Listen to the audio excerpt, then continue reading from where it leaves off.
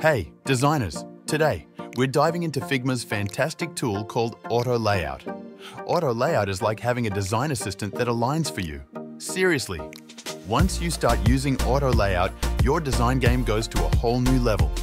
Now, let's see how to add Auto Layout to your text. Right-click and add Auto Layout or use the shortcut Shift plus A. That's it. Adding Auto Layout is easy. Now, let's explore the properties you get in Auto Layout.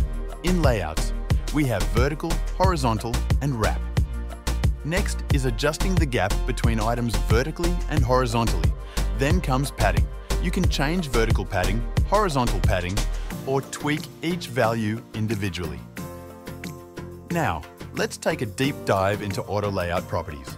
Let's take a look in layouts. First off, vertical layout. All elements align vertically. Now switch it to horizontal. Now all elements are horizontally aligned. And the last one is wrap, where all elements align both vertically and horizontally. Wrap dynamically adjusts when you resize it. Let's talk about the gap between items. In a vertical layout, you get a vertical gap. It's like giving distance between each item. You can play with the numbers or let the auto setting property decide the distance according to the layout you set. The same goes for the horizontal gap between items.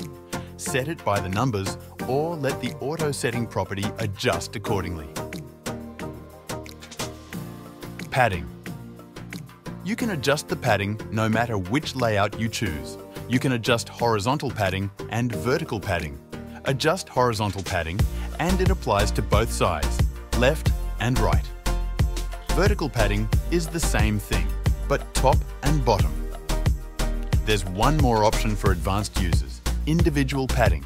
It's like having complete control of where you want your element to be. Let's talk about alignment, the most important setting. When you're using this property, you will mostly set a bounding box or room to align. It's mostly the same in all three layouts, but it sticks to its layout setting mostly. You get options like left bottom, left center, left top, center top, right top, right center, right bottom, center bottom, and center. Now, let's see how to create a button using Auto Layout. Add the text, Get Started. Create an arrow, auto layout the text, and then auto layout the arrow. Select both text and arrow, and then create another auto layout add a blue fill color and change the text color to white. For the arrow, add a white fill color.